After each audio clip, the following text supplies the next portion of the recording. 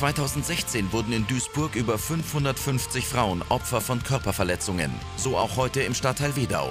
Dort wollte eine junge Frau ihrer Freundin zu Hilfe eilen, die von einem Mann bedroht wurde. Dabei wurde sie so verletzt, dass sie ärztlich versorgt werden muss. Polizeihauptkommissar Paul Schwarz und Polizeikommissar Fabian Köster leiten die Ermittlungen. Hallo. Servus. Sie ist die Dame, die uns gemeldet worden ist. Hallo. Hallo. Können Sie mir erzählen, was hier passiert ist? Ja, ich wollte mich mit meiner Freundin hier treffen, mit der Claudia. Wir wollten shoppen gehen. Und als ich hier angekommen bin, habe ich sie vom Weiten gesehen. Aber da war so ein älterer Mann, Mitte 40, dunkle Kleidung. Ich glaube, der hatte einen hellbraunen Kragen um. Okay. Und der hat die die ganze Zeit angepöbelt und, und geschubst. Und dann bin ich hin, wollte helfen. Und dann ist er komplett aggressiv geworden und ähm, er hat mich geschubst. Und ähm, ja, dann kann ich mich an nichts mehr erinnern. Also grundsätzlich äh, mangelt es bei uns in Deutschland ein wenig an Zivilcourage.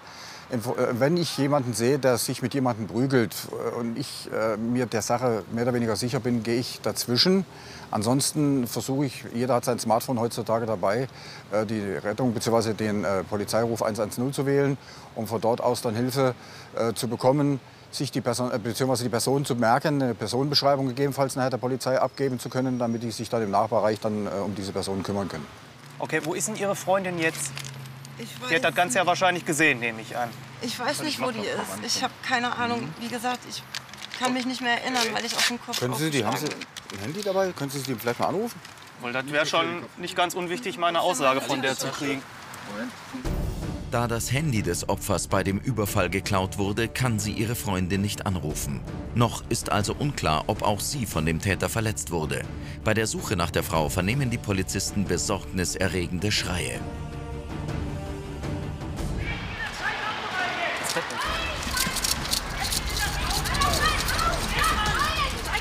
Hey, Polizei! Weg von der Frau! Was ist das denn hier für eine Nummer? Ach, das ist nur ein bisschen Familienstreit. Mehr ist das Bisschen nicht. Familienstreit, ein bisschen laut, oder? Was ist hier los? Das ist halt manchmal so, wenn man sich streitet. Alles, alles gut. Ist eine private Sache. Entschuldigung, sind Sie zufälligerweise die Frau Schwickert, Claudia? Ja. Okay. Haben Sie davon mitbekommen, was da vorne vorgefallen ist? Da haben wir gerade eine Dame gefunden, die auf der Erde liegt, mit einer Platzwunde am Kopf, Ja, vom Notarzt ja, versorgt. Ja, das, das war mein Bruder. Er war das. Ja. Sie waren das. Ja, Was haben Sie da gemacht? Was soll das denn? Das war eine kleine Streitigkeit. Dann sind, ist ihre Freundin mir auch noch auf den Sender gegangen und dann bin ich halt was lauter geworden und habe sie halt geschubst. Wie kommt man denn auf eine Idee, eine Frau zu schubsen? Was muss Das denn da ist- falsch laufen? Ja, Mal ehrlich. mir ging heute schon den ganzen Tag, äh, den, der ganze Tag ging mir heute schon auf den Sack. Da Und waren Sie mit der einen fertig und dann waren Sie mit ihr weiter, oder wie? nein, ich wollte sie jetzt einfach nur ins Auto packen und wieder nach Hause fahren. Mehr wollte ich gar nicht. Warum wollten Sie nicht mit? Ja, weil ich mich um meine Freundin kümmern muss. Ich meine, Ja. Ja. Gut. Von Ihnen hätte ich auf jeden Fall gern schon mal einen Ausweis. Die Polizisten erkennen große Widersprüche zwischen dem Geständnis des mutmaßlichen Täters und der Aussage des Opfers. Da sie die Geschädigte für sehr glaubwürdig halten, zweifeln sie die Tatbeschreibung des Mannes an. Tatsächlich erhärtet sich der Verdacht schon bald bei einer Personengegenüberstellung. Frau Händel, man hat oben an dem Fahrzeug haben wir die beiden Herrschaften hier gerade eben äh, gestellt. Die behaupten, die hätte, also der Junge, den wir jetzt gleich Ihnen zeigen, hätte sie geschubst. Und sie bestätigt das auch. Okay. Ich zeige Ihnen mal. Fabian, bringst du mal rum? So, gleiche Regel wie gerade, ruhig verhalten. Ist das der? Pascal, nein. Den kenne ich. Das ist doch dein Bruder. Der, der war das nicht. Der, doch, du musst dich getäuscht. nein, der Mann war viel älter. Der war Nein, Mitte 40. Das war Pascal. Warum sagst du das? du ein bisschen durcheinander. Nein, ich, Ich war das das. war der doch nicht. Ich, nein. Du wirst dich täuschen, Denise. Sind Sie sicher, ja? Das war auf Ich jeden bin mir Fall auf jeden Pascal. Fall sicher. Ich kenne Pascal. Pascal war das nicht. Der Mann war viel älter. Warum erzählst du das? Für uns ist die Sache etwas mysteriös, weil hier Aussage gegen Aussage steht. Der eine beschuldigt sich selbst, diese Straftat begangen zu haben. Das Opfer sagt, nein, der war es definitiv nicht. Äh, Der Täter von uns, bis jetzt noch vermeintliche Täter, hat sogar Unterstützung von seiner Schwester bekommen, die gesagt hat, ja, er war es, ich war ja dabei. Was da jetzt wirklich der Hintergrund ist, äh, wissen wir da definitiv nicht. Zu hundertprozentig, das war nicht Pascal. Daran, das wüsste ich doch. Wir, wir kommen hier so nicht weiter. Ja. Wir nehmen ihn jetzt mit rein. Mhm, ja.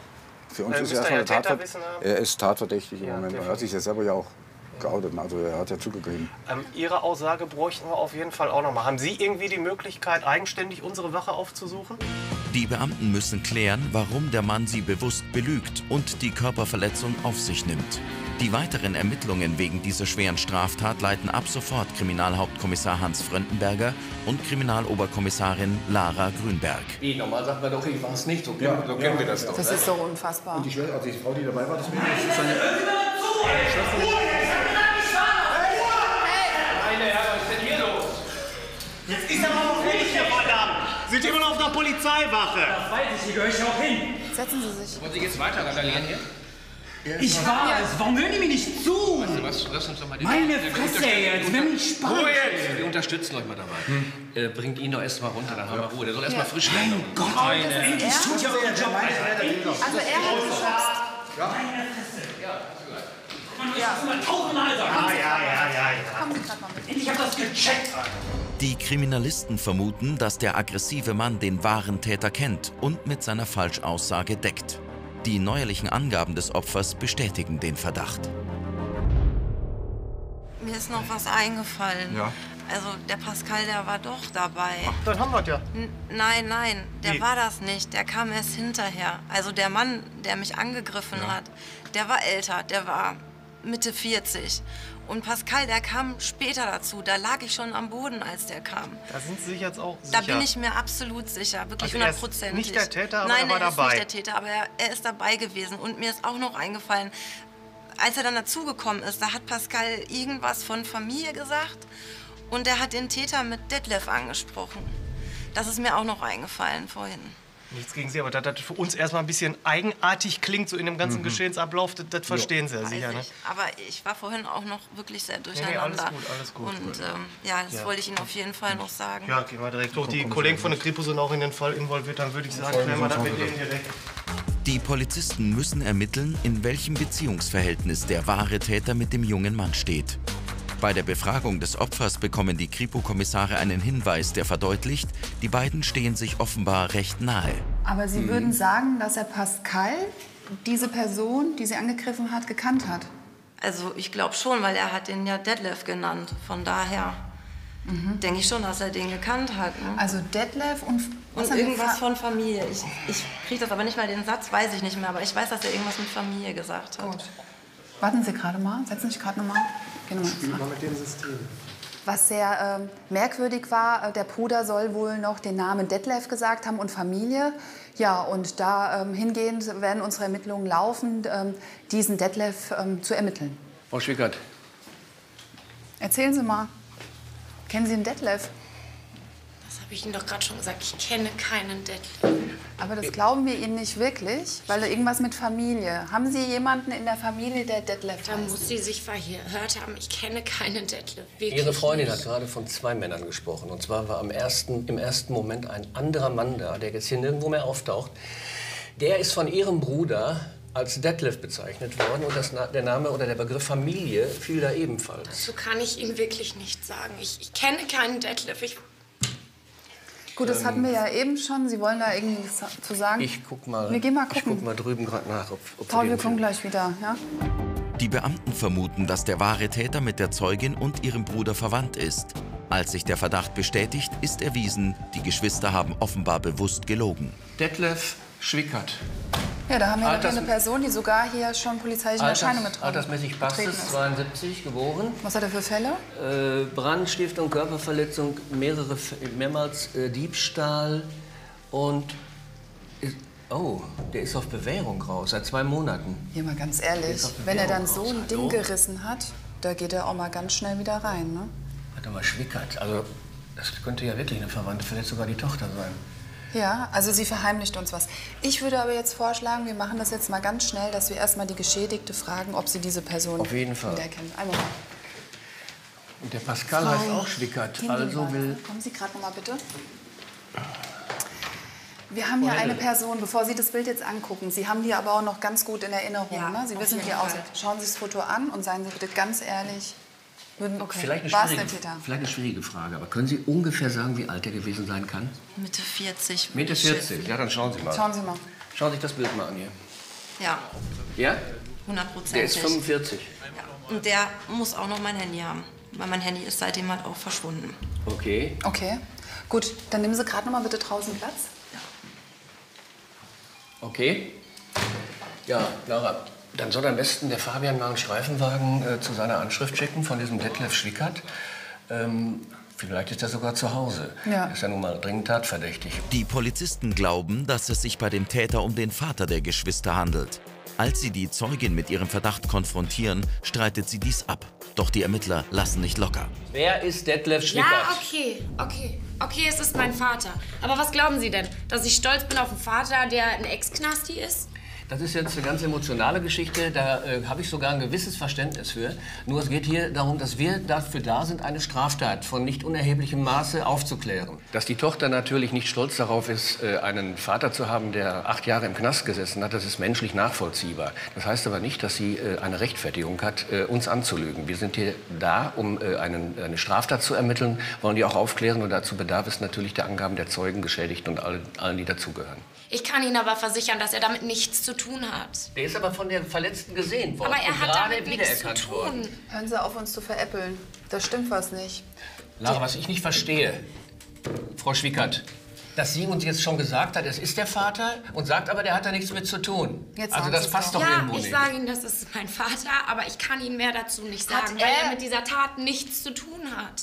Ein letztes Mal. Hat er Ihre Freundin umgeschubst? Nein, hat er definitiv Niedergestoßen? nicht. Nein. Okay, gut. Fabian, Also in der Bude ist offensichtlich keiner. ist keiner da?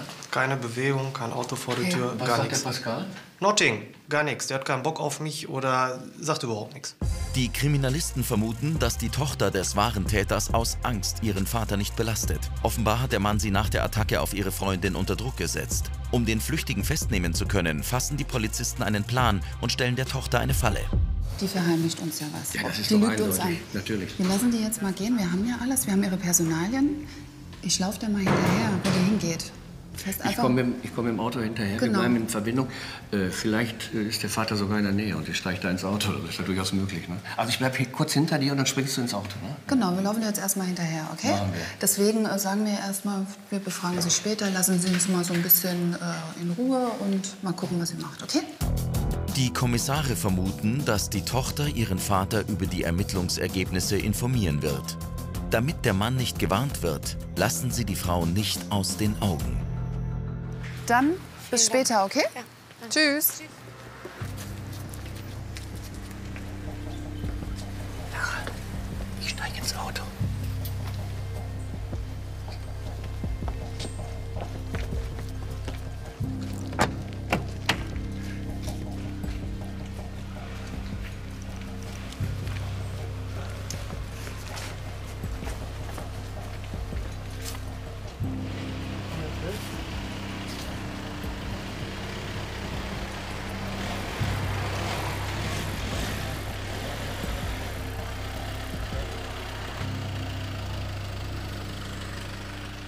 Da die Ermittler dem Taxi mit einem Zivilwagen folgen, bleibt ihre Observierung unerkannt.